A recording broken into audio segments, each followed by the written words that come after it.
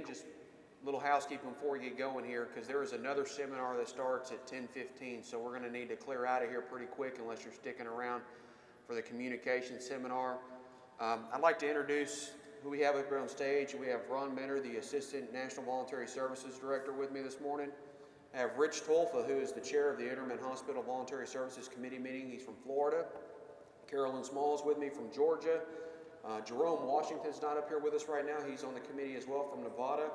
And Jose Garcia, uh, he's not here at the convention, doing some family stuff back home in Texas. But I want to thank the uh, committee for what they do. Uh, they, they're charged with a lot of stuff throughout the year, and they do a great job at getting it done. So thank you, committee members, for what you do uh, each and every day and for your involvement in your local communities. Thank you, everybody. Yeah, thank you. Please give them a round of applause. Um, I want to thank each and every one of you for getting up bright and early this morning to come down and join us to discuss the Voluntary Services Department and some of the things that we have going on at DAV. So we'll go ahead and get moving along here. Uh, you can see my farmer's only profile pic up here. Um, we're, we're charged with a lot of things. You got Ron's pretty mug shot up there as well, and Katie Geppinger, who's the supervisor of the department. Um, we're, we're involved with a lot of things in voluntary services, not just in the hospital, but in the community, with DAV's involvement with the adaptive sports program, um, and just raising awareness for DAV in general, whether that's through a scholarship fund, through recognizing an outstanding volunteer for the year, um, just a variety of things. Our contact information is up there. And when the seminar is all completed or convention's over, all of these presentations should be posted on the members only portal at DAV. So you can log in with your membership number, download this, or do a hyperlink to it, and uh, utilize this presentation to your heart's content. Here's the rest of the team. We have Ashley Pelly. Uh, she's responsible for our involvement with the Winter Sports Clinic and the TEE Tournament, so she has a direct interaction with a lot of you as departments and chapters who help sponsor and support these events, as well as our corporate sponsors for both of those events. Holly Jackson, a Marine veteran, uh, is my assistant. Uh, Connie Kinney, a lot of you have had interactions with her. Her primary focus is the DAV Transportation Network from start to finish. That's when we go to order vehicles, get them decaled, get them up and out, and back out to you. Uh, Nicole Lensweiler, she's a correspondent, and her focus is on the local Veterans Assistance Program. So a lot of your uh, LVAP uh, coordinators probably hear from her on a pretty routine basis. Um, I'll ask you to continue to send in your reports as timely as possible so we can keep up to date with those hours. Pam Henning is relatively new to our team, but not new to DAV. Uh, she's working with all the HSCs and gathering the hours uh, for your volunteer drivers, miles, and veterans transported. Nick- Chris Ripberger uh, is a floats and does the same thing. And then Odie Hall, a lot of you have interactions with as a VAVS rep or DEP or honorary rep, so she does your certifications. Everybody that I just called off is cross-trained, and can do the exact same thing anybody else can do, but uh, you have good points of references for anybody that you're calling. Let's talk about Volunteer for Veterans. Uh, we're really proud of this resource. It's new, it's relatively new still. It's an online tool designed to help promote volunteerism in your community. Uh, we have a lot of great opportunities that are in there, but currently we're still lopsided. We have more volunteers registered than we have veterans' needs. So if you know a veteran in your community who has access to a computer, can utilize a computer, have them build a profile and volunteer for veterans and tell us what their needs are. They can be as simple as changing a light bulb on your front porch, uh, to doing some minor uh, home maintenance outside. And I mean minor, I'm not talking about doing a, reno- a renovation of a bathroom. I'm talking about maybe fixing a handrail on a porch or, you know, maybe something, something like that, working outside, cleaning out a flower bed, uh, removing weeds, you know, those type of things. It's designed to complement the current LVAP program that we have in existence today. But it doesn't require you to do any more paperwork because when the job is completed in Volunteer for Veterans, we run a report at the end of the month and import those hours so the individual volunteering receives credit for his or her uh, time helping somebody in the community. Um, again, this is primarily focused on getting involved outside of VA hospitals, but more in the community. All right, so we have all kinds of great resources and things that are available for you, uh, whether that's the DAV Transportation Network, whether that's the Youth Scholarship Program, um, resources for LVAP, we have posters. Uh, all you have to do is reach out to our team members and tell them, hey, I'd like to get a bro- some brochures, 25 of this, 25 of that. We'll send that stuff to you. Now, we spend a lot of money annually updating these resources and ensuring they're up to date, uh, that they have the information that's needed, they're fresh, they look great, uh, they're extremely professional.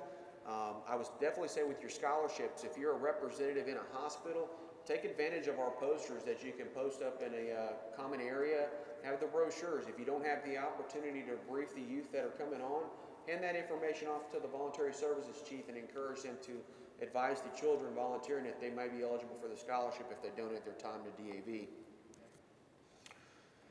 Here's a bunch of links to the videos that we have done uh, in, with help from Dan Clare and the communication staff. They're how-to videos for volunteer for veterans. We're going to show you a real funny one as we uh, transition from me doing the presentation to Ron taking over.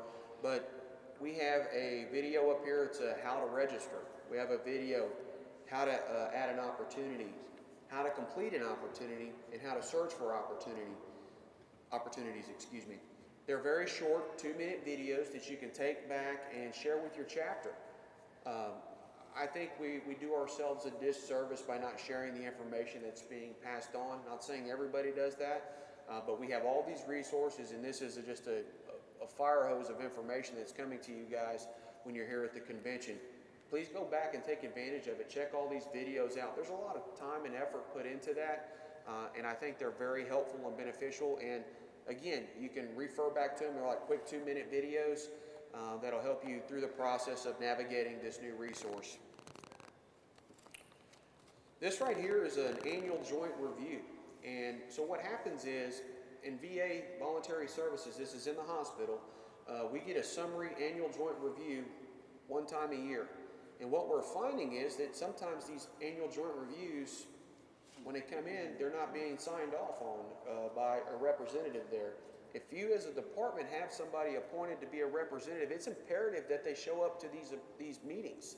They're quarterly meetings, and this tells everything that's happening at that facility on a financial level from the chapter, department, and on a, uh, you know, volunteer level. So I have a head count of how many volunteers are at, I'll just pick on Tulsa, Oklahoma at this point. Um, they're not a, they're not a offender of not sending me this stuff, but I'm going to use them as an example. So now I know what's going on in Tulsa, and I read these. Every one of these gets reviewed by me, and I send a letter back to the program chief and let them thank you know thank them for sending me that. And sometimes they're a warning letter. We don't want to lose our representation at these facilities. So if you're going to appoint somebody to be involved, make sure they are able to make it to these meetings. Now, life happens, and I understand people get ill uh, or sick, or if you need to do a change, don't be afraid to send us and say, hey, we need to remove so and so and put some, somebody else in. We're glad to do it. These joint reviews are very important for us as an organization because I can also track how much money is being donated by Chapter 12 in Michigan or who, wherever they're at, so I know what's going on in those facilities. Okay. This right here is a uh, a Form 20, and it's a little. I know it's a little bit blurry. It's just the way we kind of stretched it out here. Uh, but uh, when we get these forms in uh, from VAVS, they need to be completed in their entirety. Uh, a lot of times I'll get an individual's name, first and last name, but I'm missing the address uh, of a volunteer. How can I recognize he or she for their time if I don't get their address? And I know at VA they say, I'm not asking for anybody's social security number. I, I've had a lot of emails, well, is there a form out there? We've updated that form about five years ago. But none of our DAV forms are going to request or ask for a social security number. Uh, we understand identity theft is a big deal. We, we don't want that information. I do ask for the date of birth if I can get it because if I have a common name like Thomas Smith, um, I can't identify who that person is without the date of birth. Again, if you can get the, the information from us during a meeting or directly speaking with the volunteer, that's great. It just goes into our database so we know we can identify and recognize that particular individual for his or her uh, volunteer activities. Nothing else. Okay, this is uh, the VA Form 50, and this is the form that we get that says, um, what they do in a monthly basis in DAV voluntary, in voluntary services. Um, I cannot track or help veterans without getting these hours reported. In 2018, there were nearly 25% of the facilities that didn't report any hours for the entire year. Um, and I talked about this very same thing at midwinter, and I had a bunch of people rush up at the end of the, the conference say, Am I one of them? Am I one of them? We've talked to everybody. Uh, just continue to do the best you can in getting me this information, and I'm going to say in a timely manner. I really, really, really need your help on getting all of our information, all of the reporting uh, within 30 days. And, you know, there are volunteers out there giving their, their most precious commodity, and that's their time. And if I don't get that information in a timely manner, I can't recognize them. Kn- we're doing a better job of getting our awards and our incentives out. I talked to a volunteer here. He got a real cool Made in America product. All of our incentives are made in America. Very proud to say that. Um, and we had to figure out it's a wallet. It's pretty neat. Uh, real nice leather wallet. So get us that information in a timely manner so we can update our records and make sure we recognize you as soon as possible. Teamwork is essential to anything that we do as an organization. So for DAV success, we have to work harmoniously with the individuals we come in contact with. It's important for you to continue to be unified as an organization and help us continue to grow. Volunteers should establish a good working relationship with program managers in the facilities, the chiefs, and other VA staff at their local facilities. Um, this goes a long way. It, it carries our brand, our reputation as an organization. Um, key skills to being a team player include communication, listening, being reliable, and not forgetting to be respectful to others. All things that we were taught as children and as servicemen and women. Um, you need to be a good volunteer and clearly communicate your ideas with everyone you come in contact with. Uh, just because we're doing something today this way doesn't mean that we can't find a better way to do it. So if you have a good idea, don't be afraid to share it. I had somebody come up and share an idea with me this morning. We'll hold on to that idea and see if it's going to be something beneficial in the future. Um, but most importantly, be reliable. If you say you're going to be somewhere, do your best to be there. Um, this will let your other uh, volunteers know that you're respectful and uh, it means a lot and they have trust in you for what you're doing. Here's a cool little video as we transition.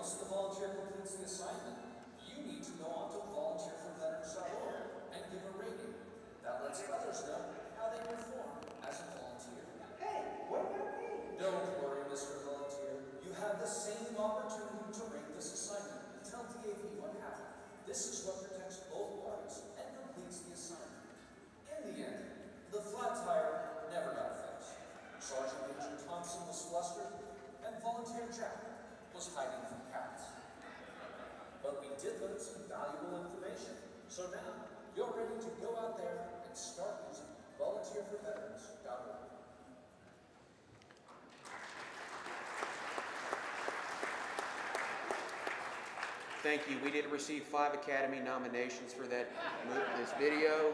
Uh, and I want to thank again, uh, the communication staff, more specifically Austin Schaffner for getting that video done. He did all that himself. It took us a one day, great video. I hope you enjoyed it. It's a resource that's available for you. It's meant to be funny, but there, there are, you know, it's a great way to show how easy you can actually get out and give back to somebody.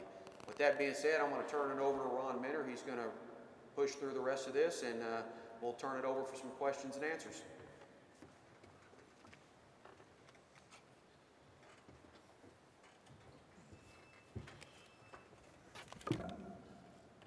Morning. So what I'd like to talk to you about, uh, some of you that are in here were at the CNA orientation at headquarters uh, a month or so ago, and we're going to kind of recap some of these program changes with regard to our volunteer recognition programs, which is our George Seal, DAV George Seal Award and our DAVA George Seal Award, and our Jesse Brown Youth Memorial Scholarship uh, program that we have. How many volunteers are in here? How many of you are familiar with Jesse Brown Scholarship and the George Seal Award? Guess how many applications we got from around the country for George Seal uh, recognition this year for convention? I'm not even gonna tell you the number, but it was, you're not too far off.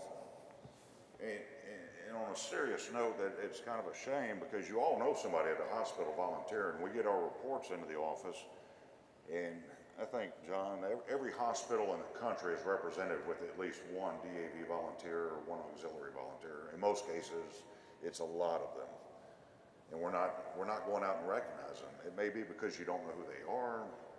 Um, it may be that they're at a facility away from the one you volunteer at, but we need to do our part. We want to recognize our volunteers and make sure that we're giving credit to all of you and especially recognizing that top volunteer that's selected by the committee when we get those applications in. So that, John and I were talking and our team and we figured, how can we change this? How can we make it easier for you to get that information to us? Because we rely on the departments when those commanders award announcements go out and we rely on the chiefs and program managers at the VA hospitals, where they're tasked with so many other things. When they get our request for another application, it usually goes on the back burner somewhere. So we're gonna try to make this as easy as possible for all of you. What we're going to do is, these are still going to be Commander's Awards. I want to point that out real quick. The Jesse Brown open application period is going to begin in, uh, on May 1st. And you're gonna have all year until the following February twenty-eighth to get us nominations for the Jesse Brown uh, Scholarship uh, applicants, or the, the youth volunteers. On the George Seal side of it, for DAV and DAV Auxiliary, we're going to our top ten volunteers from every department, that's DAV and Auxiliary, okay? We're going to send every department a list of those top ten volunteers, and we're, we're running this list based on who had volunteer hours within this, the current year that we're working in. That list will show you their current year volunteer hours and their lifetime hours. I, I don't know how clear that is up there for you. Can you see that? You'll see on the far right in the top corner, the lifetime VAVS hours, ten thousand two hundred ninety-five in this example here. And then it's got the current year's volunteer hours, seven hundred and thirty-one. And as you go down, they're all listed the same, and it tells you what facility they volunteer at. So the idea is, we provide you this information, we have access to these reports, we send you those top ten, and we're asking the commanders and adjutants from every department to establish, if you don't already have one, a, an awards committee. We want you to determine who that top volunteer is for DAV and DAV auxiliary. Send that application for those two to us. We don't want an application for all of these. And hopefully, at the end of the day, we have, was it hundred and four applications from every department? One auxiliary, one DAV, right? And then you can take those top two recipients for DAV and the auxiliary that you recognize, send those to us. They become competitive with the other departments for the national award that we give away here at convention. I don't know if we can make it any easier. We hope that this is an easy way for you to have that information at hand and make a selection and send that to us. In turn, I would suggest recognizing those two that you send to us at your State Department convention as your volunteer of the year, if you're not already doing that. Auxiliary, it'll be two separate reports for DAV and then the auxiliary report, and it'll be the same. Youth volunteers. There's not going to be as many eligible youth uh, volunteers, but we need to do our part to recognize them. That's our future, that's our future leaders, and they're going to carry the torch and, and they're uh, taking that message on with them to college. And typically, we, we receive a lot of feedback from them, and these become, um, you know, our, our torch bearers, and they're teaching other youth as they get older about those opportunities within the VA systems. And a lot of them become donors as they become more successful in life, and they remember what DAV did for them providing that volunteer opportunity, more important, than the scholarship that they received to allow them to uh, go to college or uh, university or some vocational school somewhere. So we want to make sure we do our part to recognize them. On this report, it does show the address. We had to take that out for the purposes of the seminar this morning, but when you get this, and if you need to contact them or, or get their application together, contact us at headquarters. We will provide you with all the personal information that will allow you to reach out to those youth uh, volunteers to get their information, submit those applications. We'll send you the top, how many every youth are eligible in the state. We want to say top 10, but there's times where you may only have five youth that meet the eligibility requirements. If you want to send an application for all five, please do. If you have two that stand out, you want to send those in, and they can still self-nominate, so you're not, you're not keeping them out of the process. If you don't recognize them, then they can still go through the VA or self-nominate themselves. You have the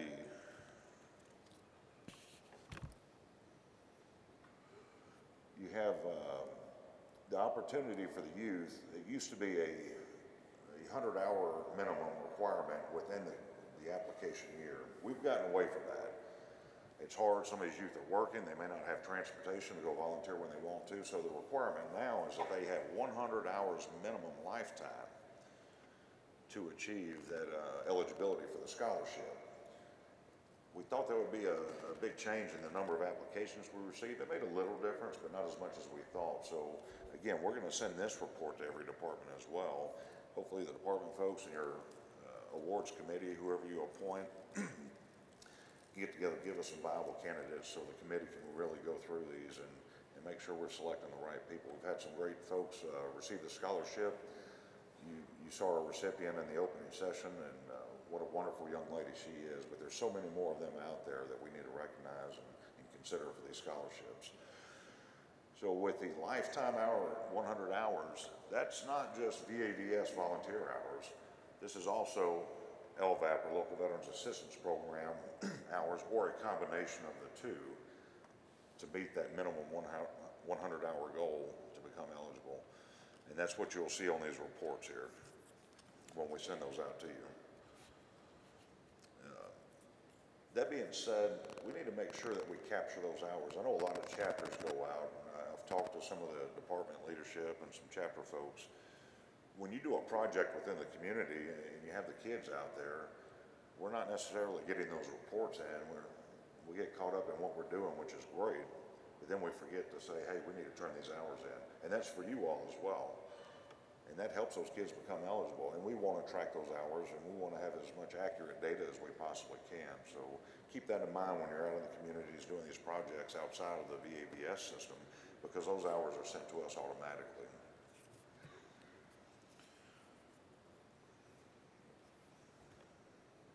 And again, this is just an example. Um, you'll have lifetime hours and for the youth and their uh, current year hours for LVAP and VAVS. Those will both be on the report. And they won't, let me go back.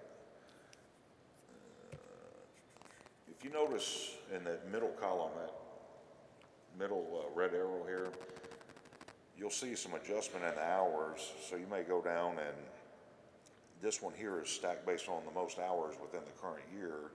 If you go to the right column, there's no particular order there, that's their lifetime hours.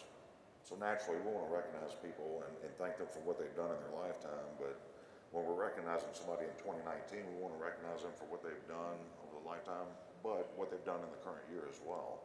It's also an opportunity for you to engage these volunteers if you don't know who they are, bring them in, figure out what the su- success stories are, and share that information, and let's keep building this program. So this application here, we have, it's fillable. You can print it and fill it out if you'd like. We've had to chop it up for you to be able to see it here, so it's gonna be in, in several pages. Please, fill this form out in its entirety as best as possible. We wanna know as much information. If you wanna get something from a, a program manager at the hospital that's with these volunteers every day, and, or if you know some additional facts about them and, and their efforts, fill this out. We, we need that information to make a good decision and make sure we're uh, recognizing those top candidates. Um, Again, th- this will be two pages when you get the form, but we had to chop it up here so it was viewable. And we've changed who signs this form. I, I think in the past, we had the program managers, the chiefs, the department agent, department commander, and we were just asking too much and, and making it more difficult to get the results that we wanted. So as you can see, we're just asking for a commander's signature or, or someone from the department. And, and this does not preclude the program managers and chiefs from submitting this anymore. We're making it easier for you, where we don't have to go out and get that signature and, uh, email those back to us.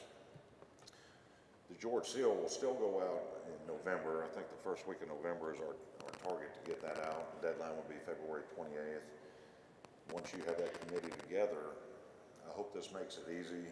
Uh, we can discuss this afterwards, but all we're asking is that you email those, those two candidates back at the, uh, during the application, um, period. Jesse Brown Memorial Scholarship, same thing, fill it out in its entirety. We get a lot of people that'll submit an application to us and they say, hey, what can I do to make my kid better than the other ones? Well, it's not a fair question.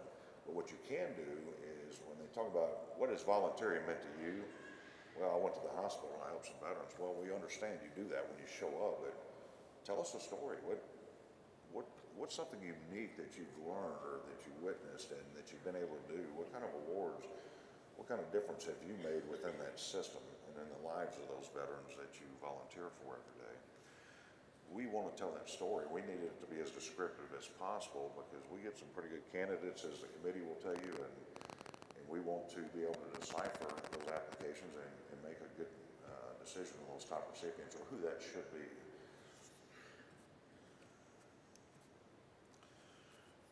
And again, we're not asking for all the signatures. Uh, We're trying to make it simple. This will be a two-page application as well, and you can, uh, the email address for the submission is there at the bottom of the form. We're still going to be Commander's Awards. Don't, don't misconstrue that. We're just changing how we solicit the awards and how we get that information back. And again, at the end of the day, we want to make this as easy as possible for everybody in here and all the departments. And I'm telling all of you this because I want the chapters to push the departments too. Get on those committees and let, let's get this information together and get it back to us. And then every department, there's no reason why we shouldn't be recognizing a volunteer of the year at your state conventions. And then we have some uh, good candidates, uh, there at national for the national convention. These links are also online. Uh, As John said earlier, this presentation will be available for everyone. And you can go there and, and, excuse me, get that information. When the announcements go out for the award, the open enrollment period, if you will, this information will be submitted again with that to every department. But anyway, I want to thank you. Uh, Again, we encourage you wholeheartedly to please work with us, work with yourselves, and- and let's recognize our volunteers for what they do. They're out there every day. We thank you for what you do, and uh, we want to make sure we recognize all of them and give them the credit they deserve. Thank you, guys.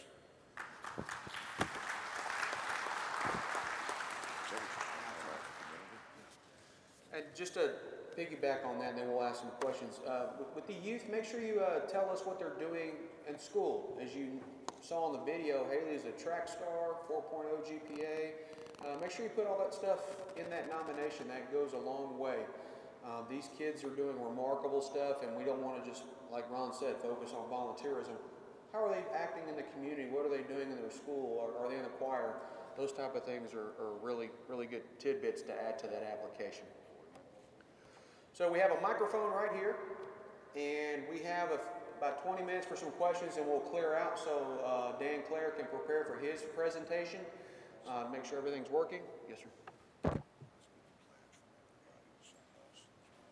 And I, I, you know, I want to do a challenge to each and every one of you in the room. I challenge everybody in this room to send me one nomination for any of these things this year. Can I get a commitment from you guys to do that? Can I get a commitment from you guys to do that? Please help us increase these numbers, and we'll go ahead and start with the questions. Thank you. Yes, sir. John Barr, Louisiana. Quick question, is three sixty ever Uh, no, sir. No, sir. We uh, are in the process of building a new CRM system that we're going to implement here in the next 24 months. And uh, so for the time being, we will continue to use DAV 360 internally. And once we get this new CRM up and running, it's going to roll out in separate phases. Uh, we'll probably expand on that in a few years. But uh, for the time being, just keep doing things the way you're doing it. Thank you, Paul. Yes, sir. Dave Rush from North Carolina. What is the minimum age for the youth uh, volunteering? Is there any? Yes, there is. It's typically 14 years old. Some facilities have it a little higher depending on the, the level of care that's in that particular hospital. Uh, check with your program manager at the facility. They have a guideline for that. As far as the LVAP program, I would say 13 is probably a good number to start, but I leave it up to the individual parents who are allowing their youth to volunteer at that point. Okay, thank you very much. Thank you. Steve Love from Chapel Hill, Louisiana, got a question. Got a lot of, uh, senior homes, there's veterans in our local area, we're at Louisiana. So I understand that you're targeting VA facilities, but that you thought of the program from a volunteer standpoint. Say your question. Repeat your question for me. I'm sorry. Yeah, I know the programs for VA facilities, we have a lot of, uh, senior retirement homes in our area, and there's some youth, I'm sure, that are volunteering that's benefiting, uh, veterans. Could that possibly be brought into the program? Yes, that's correct. If they're at a state home, you can do that through the LVAP program. Uh, if they're at a VA medical facility, they would need to do that through the VAVS program. So just get the form that enrolls them as a volunteer in our system, which was in this presentation, and submit their hours through the LVAP program if they're doing it at a state home. Thank you. Mark Wood from, um. Um, I'm a new, um, event coordinator, um, for clinic. Am I supposed to be filling out these forms for our drivers? Yes, if you're a hospital service coordinator and that's your responsibility, that's Well, what you, I'm not a hospital service coordinator, I'm a bank coordinator, but there is no hospital service coordinator at the clinic. Is Well, that right? Yes, and I would encourage you to fill out those forms and submit them to us so we can recognize those volunteers. Okay, thank you. Thank you. Department Commander John King, great state of Virginia, that's Commonwealth. Uh, question, you were talking about the annual review, and you were talking about some of the errors that were, is that annual review, if my understanding is between the Chief of Voluntary Services and the VAVS representative, am Correct? That's correct. Those errors occurred uh, by not having the representative there, or just the Chief of Voluntary It's- Services come just turn it in? It- It's typically, there's not a VAVS rep there, and so we get that, and they say that they've missed all their meetings or uh, along those lines, and that's when we send a warning letter and advise you guys uh, to find somebody who can fill that role, so we don't lose our representation at that facility. Uh, That's typically, I'd say ninety-five percent of the time the mistake. You are saying that if a department has a VAVS rep, then that rep is responsible for making sure that those things are, are accurately uh, completed? That is correct. It's, it's basically like a counseling session. It- I don't like using that term, but it's a, an interaction between the two to say what we've done good, what we can do better, and what are the goals for the upcoming year. And uh, last thing, uh, could I have about thirty minutes of your time today sometime? Absolutely anything for you, John.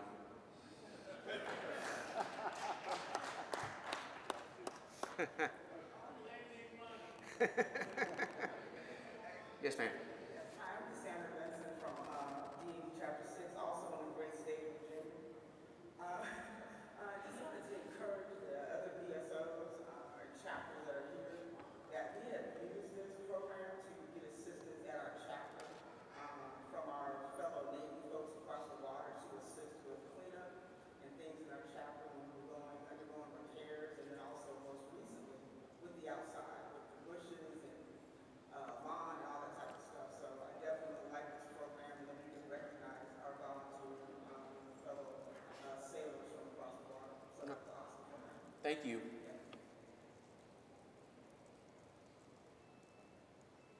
I'm Jerry Arnold from Chapter 11, from the state of uh, no, state of California. Maybe no. Thank you. Um, We have a a major hospital uh, about 40 miles away from from where our chapter meets. And there are uh, a large number of youth volunteers there. My understanding is that uh, the various counselors, you know, at the high schools are advising and supporting the veteran hospital by uh, having these students uh, volunteer, but they don't know about American Legion, the Veterans of Foreign Wars, and certainly not about our wonderful organization. And I'm wondering, without, without soliciting, how, how can we see youth or offer uh, the opportunity for them to assign their hours to the AV without looking like we're, we're soliciting our organization, you know, on, on the hospital records? Well, that goes back to our literature and talking about the scholarship program. If you can hand that stuff out or make it readily available where somebody can walk by and grab it, they can make their own informed decision about who they choose to volunteer their time. Um, I do visit with school counselors and talk to people throughout the country, and we share that information. That's why we produce this literature. Uh, I would advise you to make a request to get some of our literature and share it with those counselors and let them share that information at will with those youth and they can make an informed decision about who they choose to volunteer their time with and hopefully be eligible for our scholarship. Thank you very much. Thank you.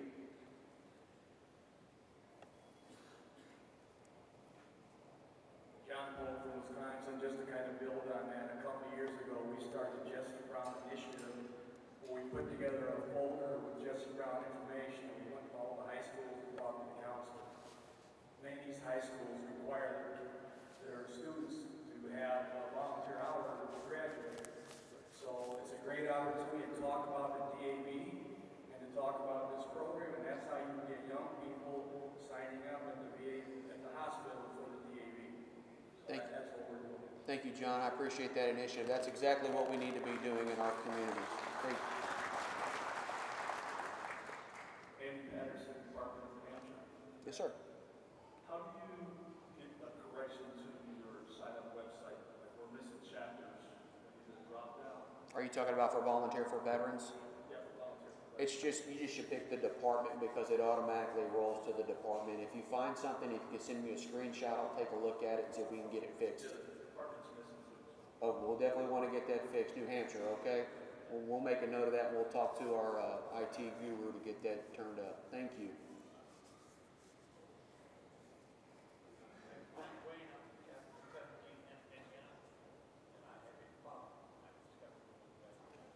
Yes, sir. Now, you just have to come visit with us when we get done here and we'll help you with your problem.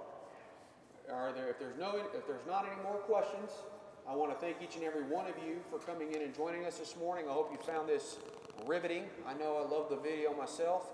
Um, please take these resources back and, uh, uh, utilize them. I, again, I want to thank the chapters and the departments for their support and sponsorships of our adaptive sports program. Um, if you're unaware of, of what we're doing in that avenue, please reach out to Ron or myself or Ashley Pelly. Um, you know, we got the TEE tournament coming up in less than 30 days in central Iowa, and it's a remarkable event, we couldn't do it without the support of the chapters and departments that are present at this convention. Thank you, everybody. Have a wonderful day.